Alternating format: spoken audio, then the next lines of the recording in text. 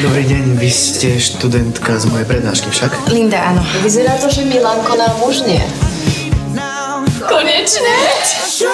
Prišla pošta? Nemôžeme to čítať. Je to pre Hanku. Myslím si, že nie si ešte v stave, kedy by si mohla pracovať. David, nemôžem tu len tak sedieť. Ocko, čo je to komplic? Chcete povedať, že doktorka Vášková pracovala v nemocnici v manickom stave? Mama na prenájom. Už teraz na Vojo a dnes o 17.55 na Markíze.